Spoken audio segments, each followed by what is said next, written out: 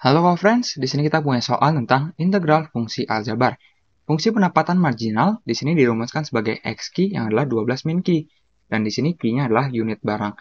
Dan di sini perhatikan bahwa y key adalah pendapatan totalnya.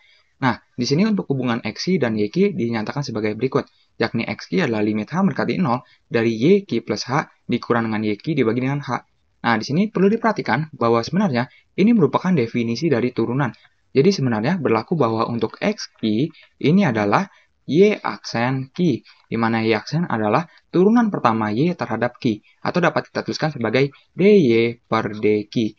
Nah, sehingga di sini jika kita mendapati untuk Y key-nya, berarti kita tahu bahwa sebenarnya untuk Y key ini adalah berarti anti turunan dari X key terhadap D key. Dapat kita tuliskan sebagai integral dari X key, dan di sini kita integralkan terhadap D key. Nah, mari kita kembali tentang integral. Jika kita punya untuk integral dari a x pangkat n dx, ini adalah a dibagi dengan n plus 1 dikali dengan x pangkat n plus 1 ditambah dengan c, di mana c adalah konstanta untuk integral tak tentu. Nah, di sini ada syaratnya untuk n-nya tidak sama dengan minus 1. Dan di sini perlu diperhatikan untuk integral dari a dx, jadi secara khusus ini adalah ax yang ditambah dengan c. Nah, berarti di sini kita dapat tentukan bahwa y nya adalah integral dari kita punya untuk 12 dikurang dengan q, lalu di sini kita integralkan terhadap dq. Makanya akan sama dengan berarti 12 kita integralkan terhadap dq, kita punya adalah 12 q. Dan di sini untuk minus q kita integralkan terhadap dq, kita punya berarti ini adalah minus 1 dibagi dengan pangkat dari q yang adalah 1 ditambah 1, berarti 2. Dan di sini kita punya q pangkat 2. Lalu kita tambahkan dengan c.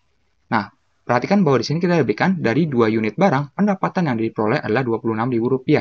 Jadi di sini sebenarnya nanti kita akan mendapati ketika q-nya adalah 2, maka nilai y-nya adalah 26.000. Nah, di sini perlu diperhatikan bahwa satuannya dalam ribuan rupiah. Sehingga di sini perhatikan bahwa kita mendapati untuk Y2, jadi ketika Q-nya adalah 2, kita dapati hasilnya adalah 26. Karena di sini dalam ribuan rupiah.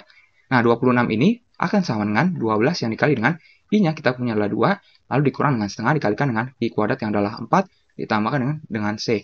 Nah, yang berarti di sini kita mendapati bahwa untuk 26 akan sama dengan 24, lalu di sini kita kurangkan dengan 2, ditambah dengan C kita dapati bahwa nilai C-nya adalah berarti 26 dikurang 24 ditambah 2. Yang kita dapati adalah 4. Jadi kita mendapati bahwa nilai C-nya adalah 4. Sehingga dapat kita tuliskan untuk rumus fungsi pendapatan total adalah YQ.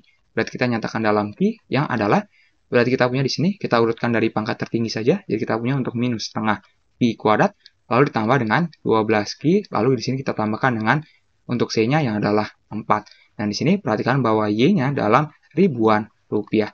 Jadi di sini kita sudah mendapati bahwa untuk fungsi pendapatan totalnya. Sampai jumpa di soal berikutnya.